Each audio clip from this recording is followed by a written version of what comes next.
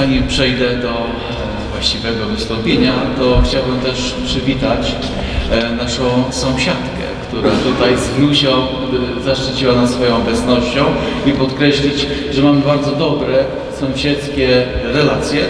Dziękujemy ślicznie, bo przecież ta inwestycja spora w cieniu tej dużej inwestycji, teraz przyjdzie im mieszkać.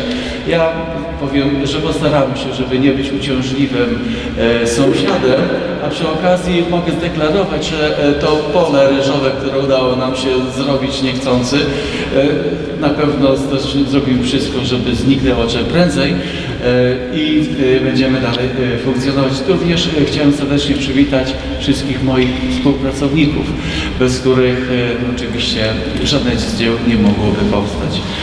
Szanowni Państwo, księży biskupie, Panie Ministrze, Szanowni Państwo parlamentarzyści z Panem Senatorem Włóczem, Panie Marszałku, gospodarzu naszego województwa i wszyscy szlachetni, dostojni goście z Panem Prezydentem miasta Grudziądza. E, Bardzo serdecznie Was pozdrawiamy w tym miejscu, które jest owocem ludzkiej życzliwości. Nie można sobie wyobrazić żadnego dzieła, które mogłoby powstać e, bez właśnie tej życzliwości, woli współpracy i chęci współtworzenia rzeczy dobrych, rzeczy potrzebnych. A ta należy do kategorii tych szczególnych, ponieważ e, nie jest to dobro uniwersalne dla wszystkich, ale jest to dobro, które koncentruje się swoją uwagę, czy przesłanie, misję e, wobec ludzi słabych, ludzi, którzy potrzebują wsparcia. I to właściwie to wsparcie, ta troska o słabych świadczy o kondycji każdego społeczeństwa, o tym, e, jakimi jesteśmy, e, jakie chcemy realia współtworzyć. I za to, że jesteśmy tutaj wszyscy i nie bez przyczyny pani Beata, wicedyrektor Gnieździckiego Centrum Caritas witała wszystkich imiennie, wszystkich imiennie przywitaliśmy. Ponieważ każdy z Państwa ma tu swoją cegiełkę. Różne te cegiełki są, ale ma, ponieważ bez Waszej obecności, bez Waszego nieraz uśmiechu, dobrego słowa, ale przede wszystkim merytorycznego wsparcia, materialnego wsparcia, kompetencji, e, to dzieło nie mogłoby powstać. A genezą tego e, dzieła jest potrzeba, ponieważ, e, jak wiecie Państwo, e, no, rozwój jest wpisany w naszą rzeczywistość. Powinniśmy szukać e, rozwiązań lepszych, dobrych, takich, które odpowiadają naszym czasom i jutru, bo to, co robimy, robimy nie tylko dla dziś, ale także na jutro. A więc chodzi o standardy, o jakość e, tego, co robimy, a żeby ta jakość była właści na właściwym poziomie, no to oczywiście musi być też zabezpieczenie e, i ta hala magazynowa, która powstała, takie możliwości zabezpieczenie nam daje. A myślę o tym, że powinna powstać w Grudziądzu, zrodziła się ponad dwa lata temu, kiedy zawitałem do pana prezydenta, e, komunikowałem panu marszałkowi, że e, takie przedsięwzięcie jest konieczne, ponieważ e, to, co jest w danym momencie, co się wydarzyło, no po prostu wymaga takiej inwestycji. Rozmawialiśmy z Bankiem Żywności. Tutaj chcę powiedzieć, że e, moja pani prezes, bo ja jestem wiceprezesem Banku Żywności w Grudziądzu, z, e, z historii. Ponieważ 24 lata temu z panem Anatolem Jegliczukiem byliśmy pomysłodawcami, jeździliśmy po Polsce marząc o tym, żeby taki magazyn, e, żeby Bank Żywności w ogóle mógł powstać. Potem to się rozwinęło w Polsce ale jeździliśmy, szukaliśmy i ten magazyn Bank Żywności w Grudziądzu powstał wtedy. I od samego początku dyrektor Grudziąckiego Centrum Caritas jest również wiceprezesem Banku Żywności. A więc czułem się zobowiązany w sytuacji, kiedy taka okoliczność powstała, że w ramach zamiany właśnie, własności y, miejsca, w którym się znajduje magazyn. Było realne niebezpieczeństwo, że będzie trzeba tamten magazyn opuścić i tak właśnie rozpoczęliśmy rozmowę. Pan prezydent po rozmowie telefonicznej, kiedy zawitałem, przywitał mnie już z propozycją działki, tej właśnie działki, y, która y, stała się miejscem budowy przyszłości. E, Oczywiście szukaliśmy e, możliwości. Pan e, Augustyniak Piotr, reprezentujący firmę Airbud, nasz przyjaciel, ileśmy to Panie Piotrze zbudowali w tych minionych latach różnych rzeczy, domów dla ludzi, którzy na przykład w wyniku pogorzeliska, różnych innych sytuacji losowych stracili zamieszkanie.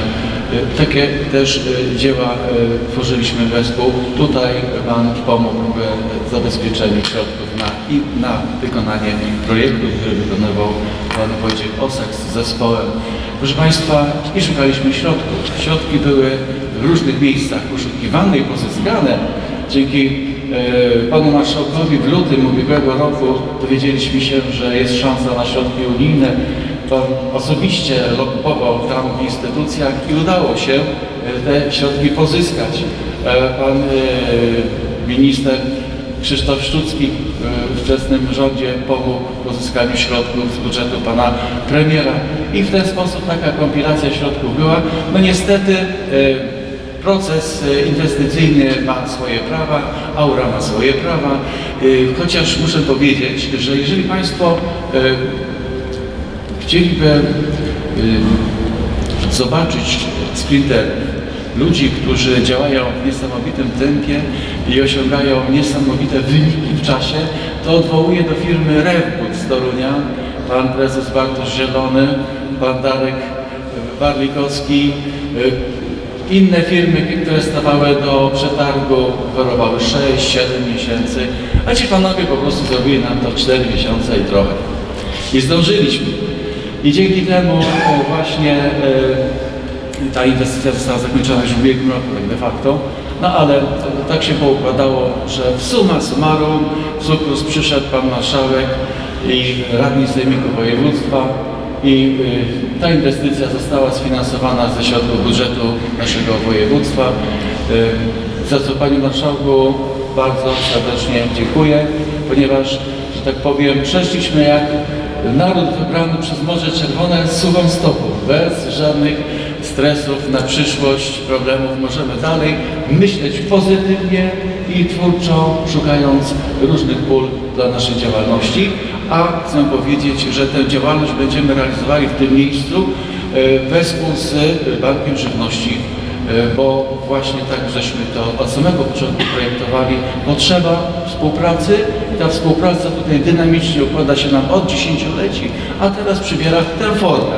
W tej hali można będzie zdeponować nawet do tysiąca palet z żywnością. E, Myślę, że e, ta hala będzie rzeczywiście wypełniana, ale ideą jest, i tu może zabrzmieć jak paradoks, ale żeby była pusta czyli rotacja. Przyjeżdża, wyjeżdża, bo potrzeb sporo mamy, a rzeczywistość jest kolorowa i nie wiemy jeszcze, co nas w najbliższym czasie czeka.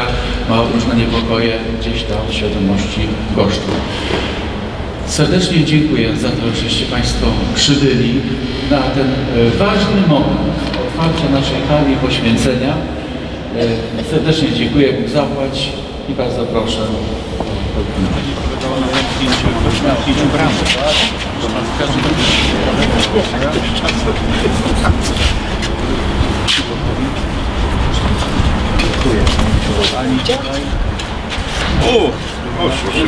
Znamy dobrze takie powiedzenie, że sukces ma wielu ojców, a tylko porażkę jest sierotą. Ale akurat w przypadku tej hali, tej, tego pięknego magazynu, ten sukces naprawdę ma ojców. I bardzo się cieszymy, że Państwo tak licznie przybyliście na otwarcie tej hali i poświęcenie. To też pokazuje, że wielu ludzi dobrej woli, kiedy sprawa jest ważna i szlachetna, potrafi się zjednoczyć i za to jestem niezmiernie wdzięczny. Wielkie Bóg zapłać. Już nie będę wszystkich wymieniał, bo y, ksiądz dyrektor pięknie przedstawił te osoby, które były zaangażowane w powstanie tej hali. I jeszcze tylko o jednym chciałbym powiedzieć. Proszę Państwa, tak z podziwem patrzę na tę halę i pomyślałem sobie, że w latach 80., kiedy, 80. XX wieku, kiedy byłem młodym człowiekiem, to wówczas przyjeżdżały do nas transporty pomocowe, sporo darów z Holandii, z Niemiec, z różnych krajów zachodu. I pamiętam, że szukaliśmy różnych magazynów, ale to były przeważnie jakieś szopy, stodoły, yy, garaże. I właściwie te dary były niemalże wszędzie. Ludzie się gromadzili i mogli korzystać z tych darów. Kiedy porównuję tamten czas do tego, co jest dzisiaj, to to nam pokazuje, w jakim punkcie historii jesteśmy i rozwoju naszego kraju. Bo rozwój kraju i rozwój państwa to nie tylko piękne miasta i wspaniałe drogi, choć wiemy, że to jest niezwykle ważne. To nie tylko edukacja, choć ona jest niezwykle ważna, ale to również troska o drugiego człowieka, szczególnie tego, który jest w potrzebie. A więc takie inwestycje, takie miejsca, które gromadzą żywność nie w celach komercyjnych, ale po to, żeby właśnie pomagać drugiemu człowiekowi, to wydaje mi się są najlepiej zainwestowane pieniądze. I to jest piękna wizytówka dla miasta, dla Caritas oczywiście, dla Caritas, ale Caritas ma takie zadanie, ma być szkołą miłości, ma uczyć miłości i tą miłość w całym świecie realizować. Ale to jest też piękna wizytówka dla województwa kujawsko-pomorskiego, dla diecezji toruńskiej i dla miasta, dla Grudziądza, za co jesteśmy niezmiernie wdzięczni. Jeszcze raz Państwu dziękuję za przybycie.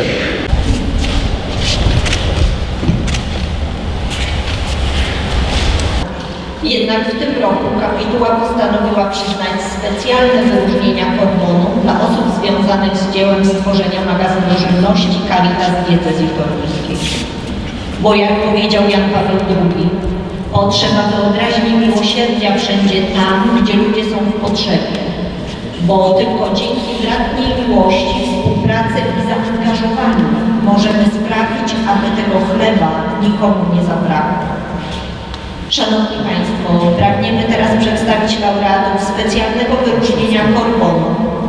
Ludzi, którym nie zabrakło nie tylko miłosierdzia i dostrzeżenia potrzeb drugiego człowieka, ale też zaangażowania i umiejętności współpracy w budowaniu tego dzieła. Zapraszamy Pana Piotra Całbeckiego, Marszałka Województwa Kujawsko-Pomorskiego. tego miejsca, żeby wszyscy usłyszeli tu i poprzez e, mass media, e, że to ja dziękuję księdzu biskupowi, e, księdzu dyrektorowi za to, za tą kontynuację czynienia dobra w. Caritas to nic innego jak znaczy, oznacza dobro. Tym przypadku czynione poprzez pomoc ubogim, żyjącym w niedostatkach, których jest bardzo wielu, e, dając im żywność. E, Pan Jezus dzielił się chlebem z potrzebującymi, rozmnożył go w sposób cudowny i dziękuję, że idziecie śladami Jezusa Chrystusa, dzieląc się i pomnażając dobro. Dziękuję bardzo. że biskupie, wszyscy zacni goście dzisiejszego wydarzenia. Ja czuję się zaszczycony e, otrzymaniem tej nagrody, ale to, co robiliśmy, to było coś naturalnego, to był odruch serca. Rzeczywiście pamiętam tą pierwszą wizytę e, księdza dyrektora w moim gabinecie, gdzie e, była mowa właśnie o potrzebie wybudowania takiego magazynu. Bardzo szybko zadziałaliśmy, aby znaleźć parcelę. Później trzeba jeszcze przypomnieć, że było takie burzliwe posiedzenie Rady Miejskiej e, Grudziądza, gdzie radni przekazali tę parcelę z bardzo wysokim e, upustem. I też myślę, że nie było żadnych wątpliwości, że idziemy w dobrym, w dobrym kierunku. Później szybkie wszystkie procedury formalne, bardzo szybka realizacja i dzisiaj ten e, efekt finalny.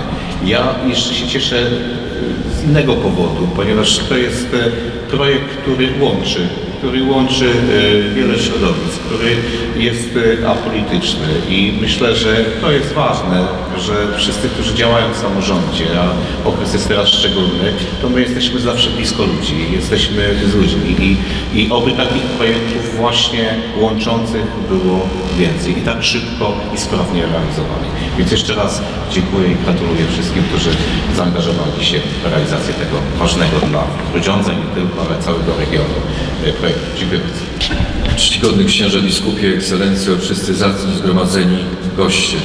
Myślę, że to szczególna chwila, kiedy te wszystkie dobre serca tutaj zgromadziły się w tym szczytnym celu. Powstał wspaniały obiekt, który ma służyć wszystkim potrzebującym.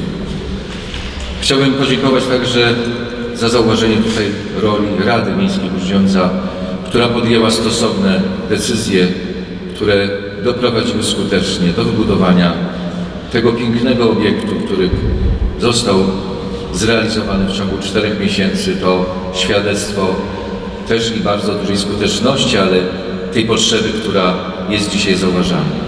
Oczywiście chcielibyśmy jak najlepiej, aby te potrzeby dzisiaj praktycznie nie istniały, ale póki one są, to zadaniem właśnie Caritasu wszystkich organizacji realizujących, realizujących to zadanie jest, abyśmy napełniali ten magazyn. I Szanowni Państwo, drugim naszym celem po wybudowaniu tego pięknego obiektu jest to, aby ten obiekt pod samą górę był zawsze wypełniony tymi towarami, na które liczą osoby wsparcia. Dziękuję bardzo.